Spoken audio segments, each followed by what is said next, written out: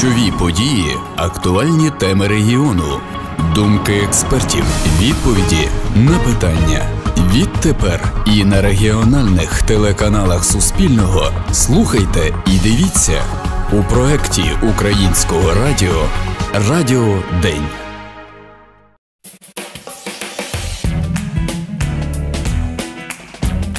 Вітаємо в ефірі Українське Радіо Миколаїв. У студії ведуча Галина Самоленко за операторським пультом Віктор Кіниш.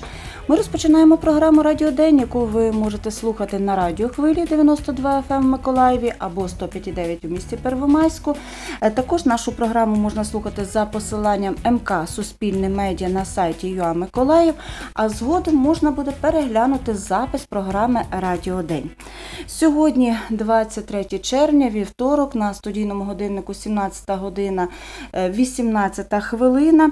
І у програмі Радіо День сьогодні говоримо про роботу рибоохоронного патруля Миколаєва, літній замор риби. Та шляхи запобігання загибелі риби.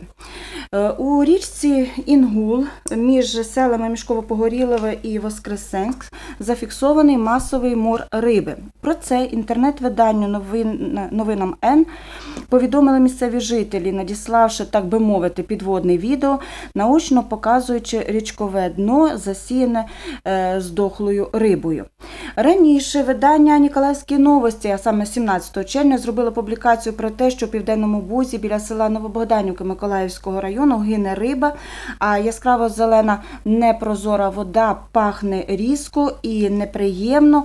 У припливі південного бугу масовий мор риби, а відео з берега е, викла у мережу Віталій Матвєєв. Про нехарактерно для цього часу зелені місця почали повідомляти близько двох тижнів тому, причому вода забарвилася і в районі морпорту вниз за течією до Радсаду, Новобогданівки, Нікатери. У Державній екологічній інспекції Миколаївської області про проблему знають, проби води взяли, але вважають, що приводів для паніки немає, адже цвітіння синьо-зелених водоростей спостерігається щоліта з настанням спеки. Про ці повідомлення ми також розпитували у Миколаївського рибоохоронного патруля представництві, що вони знають, якою є наразі ситуація. І сьогодні саме у програмі Радіо День ми говоримо на тему літні задухи риби, як запобігти наслідкам. До розмови на цю тему ми запросили гостей студії. Це Євгенія Хиренко, заступниця начальника Миколаївського рибоохоронного патруля. Доброго, Доброго вечора. дня. Женю. А також у нас е, Тетяна В'язнікова, старша інспекторка сектору документаційного забезпечення Миколаївського рибоохоронного патруля. Вітаю. Доброго вечора, пані Тетяно. У нас є коментарі і голови Чорноморської ОТГ, і екологів. Все це згодом, але е, разом з ними ми дізнаємося, як змінилася робота Миколаївського рибного патруля з передачею в зону контролю деяких ділянок Чорного моря. А також дізнаємося, якою є ситуація в області щодо загибелі риби, які порушення були виявлені останнім часом, та які заходи допоможуть е, зупинити знищення риби. Е, Звичайно, перше запитання до вас, пані Женю. Скажіть, будь ласка, е, я так розумію, ви дізналися не з публікацій новості Н, так Е, чи можливо відео е, Віталія Матвєєва про оці випадки порушення, чи можливо незвичайного виду річки, і, зокрема дохлої риби. Звідки ви дізналися, якою була ваша реакція? Ну, перший випадок е, це був у районі Новобогданівки. Випадок ми виявили під час рибоохоронного рейду. Масово підключили комісію, яку ми створили з екологічної інспекції, також Держспоживслужби Миколаївської області та районної е, лікарні ветеринарної лікарні тут у Миколаївському районі. Комісійно виїхали до місця виявлення масової загиблі риби, взяти були проби води та загиблих водних біоресурсів, щоб виявити причини. Але можу відзначити, що цвітіння синьо-зелених водорослей ми спостерігаємо щороку у спекотний період. І у відкритих водоймах нашої області це супроводжується дрібним накопиченням у воді продуктом їх розпаду, коли вони розмножуються. І продукти їх розпаду Розладу, Розладу. звичайно, на це впливають. Так, наслідком цих процесів стає погіршення якості води і масова загибель риби, утворення гнилистих зловонних газів що спричинено низьким, низьким вмістом кисню у воді. Так, задихається, задуха риби. Але я так зрозуміла, зразу бачила допис Тетяни, так? Е, що е, ви відреагували, написали знову ж таки звертатися до Миколаївського рибоохоронного патруля. Чому було так підкреслено, пані Так, Тетяно? Тому що ну дуже часто люди, коли вони бачать там море риби або якусь іншу подію пов'язану там з порушенням правил рибальства, вони відразу пишуть про це в своїх соцмережах. У нас е, на всю область працює 20, 21-20 інспекторів. Ми всюди бути не можемо, і ми завжди підкреслюємо, В один що час. так в один час. І ну тим більше, що наші інспектори вони працюють в групах, рейдові групи у нас формуються. Тому ми дуже просимо, щоб наша робота була ще більш ефективною, щоб люди вони телефонували нам на гарячу лінію. Ми завжди реагуємо, завжди оперативно виїжджаємо, щоб не було е, зайвої паніки в людей. Е, Щоб е, була сформована комісія, щоб потім е, після результатів відповіді. так, так, так. Ми вже сказали, що чи варто хвилюватися громадянам, чи все ж таки це процеси, які відбуваються там кожного року. Тим паче по Новобогданівці там був не такий великий замор і риби було не так багато. Але паніки там в людей ну, дуже багато. Знову ж таки, не всіх є відповідні гаджети, які можуть це е, зняти або відео, або сфотографувати. Тобто не варто чекати, а можливо зателефонувати на гарячу лінію і, звичайно, е, е, в такому звичайному режимі повідомити, можливо, про якісь сумніви щодо того, що є. Звичайно, ми поцікавилися щодо цього питання і в екологів, тому що треба розуміти, наскільки це важливо. Ви, як рибоохоронний патруль, розумієте, риба гине, треба е, щось робити, так? Але, звичайно, є питання екології. І як пані Женя почала говорити, що це десь природне явище, але наскільки воно природне, наскільки воно відходить, і тут втручається якийсь людський фактор. Е, Нам коментарем е, все розповів Олег Деркач. Він зазначив також, що річка фактично зрегульована, санітарні попуски не забезпечуються. З кожним роком до нас доходить все менше води, повені немає, промивання русла немає, льодоходу немає, і лиман і річки перетворюються в застійні водойми із дефіцитом прісного стоку. А от більш детально я пропоную послухати, що сказав Олег Деркач. Наші водойми це вже традиційно починають цвісти. Причиною є потрапляння великої кількості органіки, органічних сполук, азот, фосфор в містких сполук, які створюють ідеа- ідеальне живильне середовище для розвитку мікроорганізмів. Ну, переважно це сині зелені водорості, вони найшвидше розмножуються, і інколи кількість їх сягає декількох мільйонів, може навіть десятків мільйонів цих організмів на літрі води, і вони забарвлюють воду в е, певні кольори. Питаються, чому це на початку літа, а в цьому році рік такий особливий. Ми мали. Абсолютно аномальну теплу зиму, і у нас цвітіння почалося вже з е, кінця травня і продовжується і зараз. Звідки береться органіка? Тут зрозуміло. По-перше, ми знаходимося в одному із найбільш радючих регіонів світу. Радючі чорноземи вони змиваються в наші водойми. Це з одного боку, разом з е, гумусом змиваються добрива. Далі незавершена система очисних споруд приводить до того, що найчищені стоки потрапляють в першу чергу каналізація. Зараз ще додавалось тим, що йдуть зливи літні, всі нечистоти змиваються, плюс висока температура. Зараз вже все є. І їжа для мікроорганізмів є тепло, а ще є кисень, тому що пізніше вже і кисню водоймах не стане. І цим і спричинено масовий сплеск. Ну, си- синьо-зелені водорості це мікроскопічно дрібні організми, які ми можемо тільки розглядіти під мікроскопом, і вони власне дають якраз цей колір води. Цей неконтрольований ріст і збільшення кількості цих водоростей не припиниться, допоки є живильні речовини в водоймі. Але є одне но. Із підвищенням температури у водоймі е, знижується концентрація кисню. Е, Утворюються так звані такі, знаєте, обширні безкисневі зони, гіпоксичні зони, коли всі організми, які знаходяться на дні, вони гинуть або викидаються на берег, і ми називаємо це замором. Е, Зазначу, це був коментар Олега Деркача, це директор південної філії Інституту екології Національного екологічного центру України. Але ж е, загалом те, що е, відбувається такий патруль, контроль так, е, вашого саме управління щодо е, рибних, е, так би мовити, станів на Миколаївщині. Останнім часом робота патруля змінилася. Були передані в ділянки, деякі ділянки Чорного моря. Пані Женю, скажіть, будь ласка, наскільки змінилася робота Миколаївського рибоохоронного патруля? Ну, ділянки Чорного моря нам передали не так давно, ще з початку червня.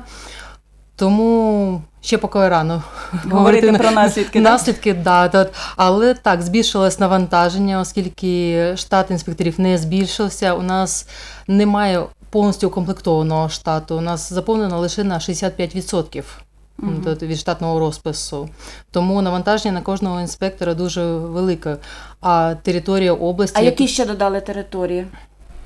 Ну, Це і Кимберська коса, відкрите море ззаду, Тендрівська коса, частина, місто Очаків, е, Рибаковка, Коблево, побережжя. Тобто з червня місяця роботи додалося, але структура і система роботи залишається тією, так? Так. Крім того, що збільшилася територія, де е, можна контролювати. Е, останнім часом е, добре, коли добре, якими були порушення, е, які саме були е, державним інспектором зафіксовані? Ну, з початку року ми вже виявили більше тисячі порушень, і збитки сягають около 300 тисяч гривень. Цими Це порушеннями. браконьєрство, як правило, чи є і Це браконьєрство, так. Так. І чим є такі, ну, наприклад, де можете сказати, місця, де найбільш поширені, чи все-таки такого визначення немає? Ну, Такого визначення немає. Є і у річці Південний Буг, коли збитки складають за одне правопорушення і там і 20, і 30 тисяч. Є випадки, от коли Чорне море вже передали частину, було виявлено два правопорушення на незаконному вилові креветки. Там збитки були більше 100 тисяч гривень. Одне правопорушення. І які ж штрафи передбачені, чи все залежить від тої кількості, так? Е, Ну, штрафи це, Це вже до розгляду поліції. до суду передається як суд, а збитки нараховуються відповідно до затверджених такс. Угу. Тобто е, кожна рибка має свою вартість. Там, наприклад, за червонокнижну рибу там 45 тисяч гривень одна риба. А якщо ми кажемо там про судак, судак, нагадай мені Женя, там е, 200, скільки там? 50 гривень, здається, якщо я не помиляюсь. Карась 17 гривень. Тобто це все прописано. Одна креветка, одна гривня 19 копійок.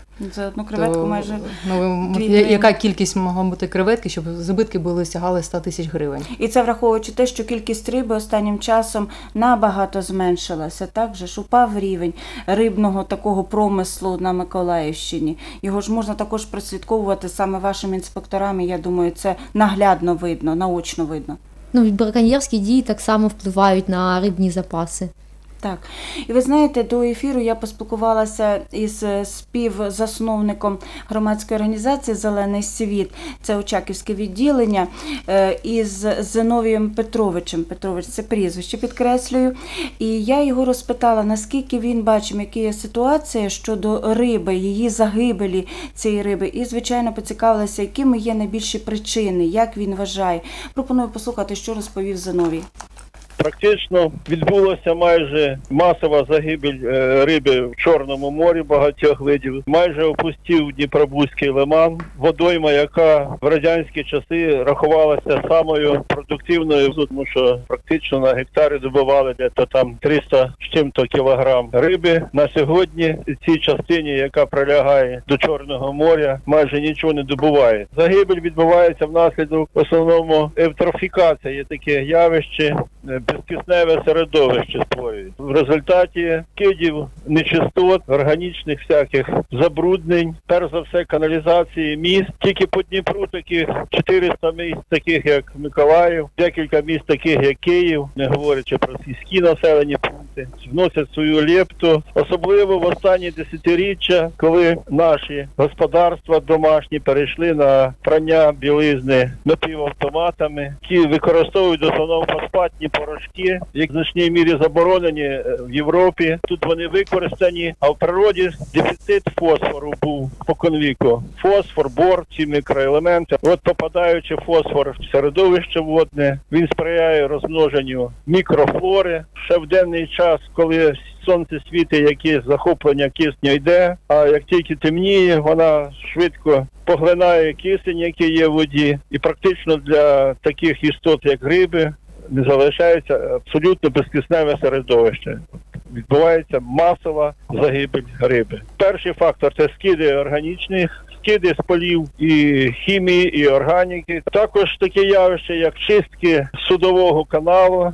Оця пульпа, яку вибирали з фарватера з глибини 10 метрів. Раніше вона відводилась на глибини Чорного моря, де то на 200 метровій глибині воно топилося. Зараз це практично чиститься, тут же скидається під берегом. Дніпробузькому лимані чи на виході з Чорного моря. Все це не сприяє рибовідновленню, знищуються нерестові місця, знищуються кормові об'єкти, і в результаті ми маємо повністю втрачені рибні угіддя, рибні ресурси. Е, Це був коментар Зиновія Петровича. Він є співзасновником е, асоціації екологічної асоціації Зелений світ, мається на увазі Очаківське відділення.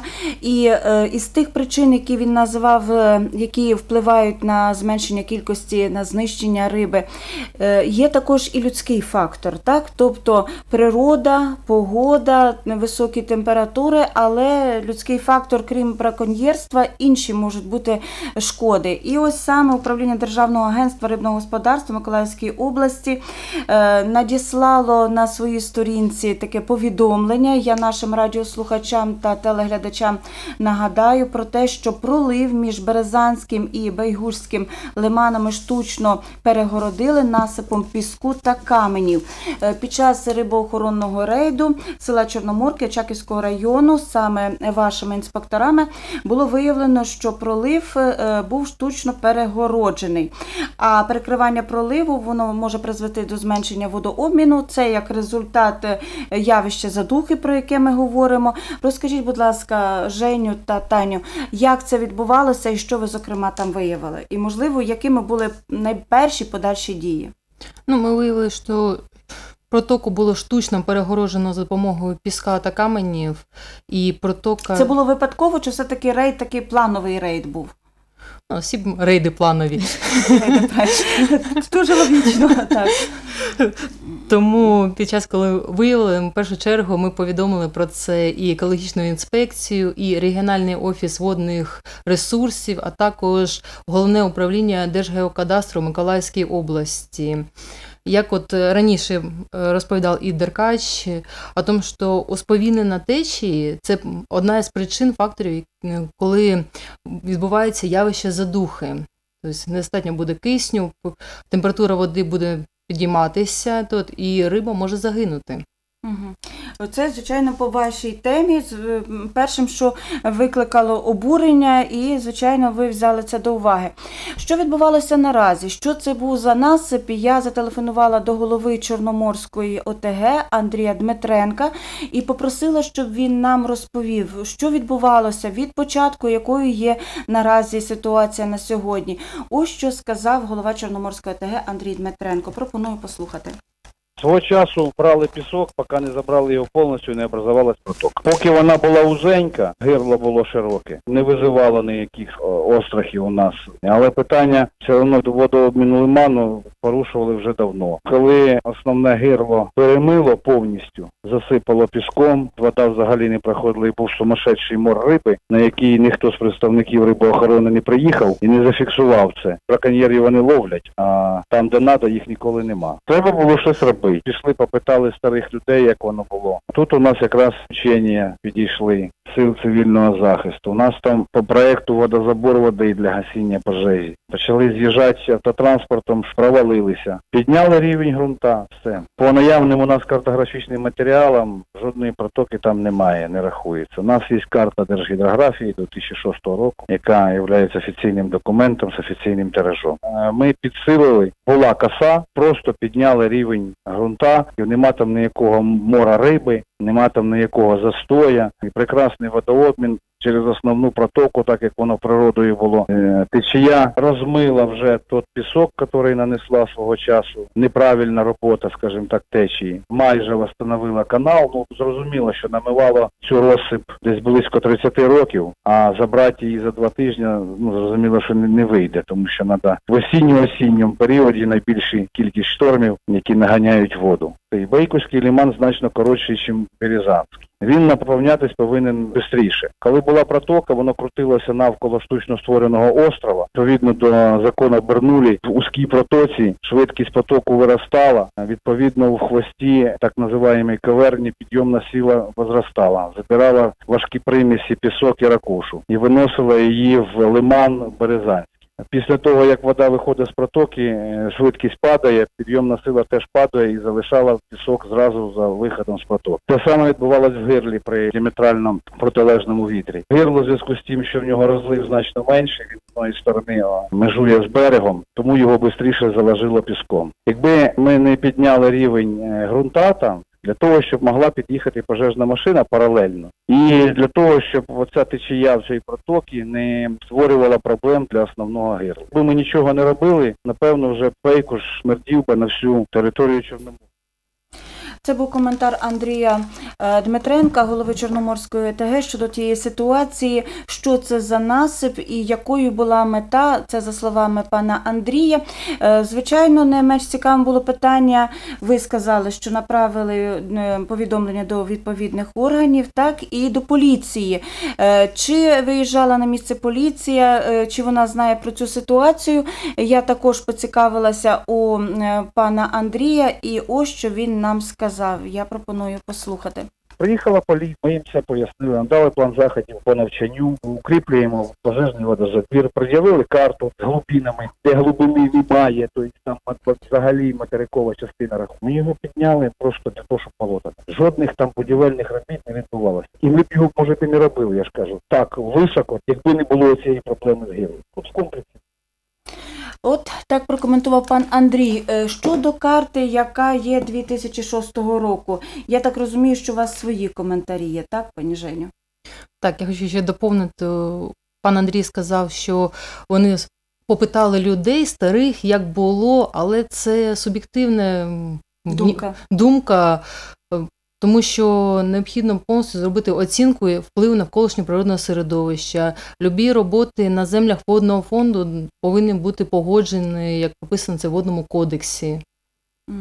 Я думаю, ми зі свого боку, як рибохоронний патруль, надіслали е, всі офіційні там відповідні звернення, і все, що від нас залежало в правовому полі, ми зробили. І далі вже компетентні органи вони дадуть оцінку правову тій діяльності, яка там відбулася. І ще я б хотіла трошечки там ремарочку зробити, як пан Андрій трохи нас покритикував, сказав, що нібито були якісь замори, але не зазначив, коли саме вони були. І я б хотіла, Женя мене доповнила, що питання заморів вони е, міжвідомчі. Ми формуємо комісію, куди окрім нас входять ще е, екологічна служба, районна ветеринарна. е, Ну, міська, або районна так. ветеринарна медицина, тут Держспоживслужба. Тобто, і е, він, як представник органу місцевого самоврядування, в разі якщо виявляється якась а, подія пов'язана з рибою, а, так само а, телефонує нам, і ми вже далі формуємо комісію, виїжджаємо на місце та працюємо далі. І у нас вже закінчується час, я так розумію. Я б дуже хотіла, щоб ми закінчили на такій е, трошечки позитивній ноті. Що ж ми робимо, як Миколаївський рибоохоронний патруль? Аби риби ставало більше, аби заморів було менше, Е, це Аби рибний промисел не пропав. Так, Так. так, аби рибка була. І е, я думаю, Женя розповість про наше масштабне зариблення, яке в нас було. Ну, Так, Цікаво. от, е, як ми вже всі почули, що одне з масових причин загибелі це розмноження водорослей. Щоб цього уникнути, одним з дієвих заходів є зариблення водойм рослиноїдними видами риб, які в процесі своєї життєдіяльності поїдають ці водорослі. Це такі види, як короб, білий амур, товстолоб. У прошлому році за рахунок державної програми було е, проведені роботи у кількості полтора мільйона екземплярів таких видів риб, е, що явно покращило стан наших водойм. Так. Mm. Ну, звичайно, Сподіваємося, як варіант. що це буде щорічно проводитися. Тоді, звісно, запаси будуть поповнюватися. Нам би хотілося сподіватися, звичайно, щоб долучалися до цієї роботи примноження, так Е, не тільки е, люди відповідних органів, знову ж таки, е, чи це рибоохоронний патруль, чи відповідно керівництво там чи громади, чи певних компетентних екологічних інстанцій, а й звичайні люди.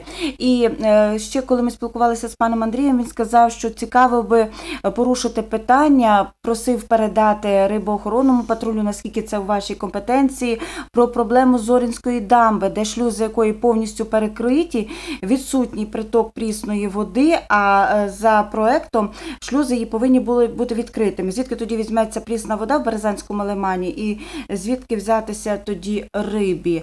Як варіант, як пропозиція до роботи, ну і як проблему, яку бачить е, пан Андрій Дмитренко. Ми продовжимо програму Радіо День і говоримо про те, як збільшити кількість, і взагалі, е, що можна зробити кожній звичайній людині, для аби це питання виглядало набагато краще, тим паче, що Миколаївщина, край, е, річка, один бік, другий бік. Е, Свої пропозиції, поради, так би мовити, висловив. Нагадаємо, Олег Деркач, він вже з нами був на зв'язку. Це директор південної філії нашої південної філії Інституту екології Національного екологічного центру України. Пропоную послухати, що сказав пан Олег. Якщо б ми не розорювали там заплави чи там схили, якщо б ми не допускали змив такої кількості гумусу, добрив наші водойми, якщо б не скидали неочищені стоки, якщо б у нас не було прорив каналізації, якщо б ми забезпечували такі належні санітарні умови в нашому місті, накопичуються нечистоти, а потім це дощем, зливами все значить змило. Домінуючим є людський фактор. Тут треба змінити свідомість людей, бути законопослушним, потрібно бути поінформованим громадянином, знати, що потрібно робити. Можна спостерігати таку дикість, що миють машини на березі річки. В ринкових умовах нам пропонують брати більш екологічно чисті миючі засоби. Так? Треба дивитися, якщо вона вміщує там фосфор, ну фосфор, так є вміст, а фосфор і азот є тими біогенами, які стимулюють якраз оце цвітіння. В державному рівні тут є такі речі. Наприклад, вже давно ми пробуємо запровадити басейновий принцип правління водними ресурсами. Так, Південний Буг, практично вода до Миколаєва і тут до Панизі не доходить. Чому? Тому що все розібрано на водосховище. Кожний собі перегородив там десь річечку, кожний перегородив там, зробив греблю. Південний Буг це каскад водосховищ. Так і фактично ос- останнє водосховище, де накопичено великий обсяг води, це Олександрівське. Так і ми, знаєте, знаходимося в такому стані. Ми чекаємо, дадуть нам санітарні попуски чи не дадуть. Чому не вистачає зараз всім води? То ви напевно чули про маловодність, що надзвичайно мало обводнені наші водойми, ну річки. Тобто сьогодні вже настав такий момент, коли ми не маємо права витрачати такі великі обсяги води для технічних цілей, наприклад, на холодження реакторів. Басейновий принцип управління якраз він дозволяє регулювати. Це управлінські речі, це по- потрібна політична воля. Так, це потрібно, щоб працювали закони. Потрібно, щоб е, е, працювало законодавство, щоб були штрафи, і люди е, відчували цю відповідальність. Поки Це був коментар Олега Деркача, і сподіваємося, що якби кожен дослухався до тих пропозицій, порад, які сказав пан Олег, дійсно би кращою виглядала ситуація. Хоча під час у літній період всі виїжджають до водойм, стараються просто за собою забрати весь, весь мусор, який згодом Суття. так, е, він може попасти до водойми.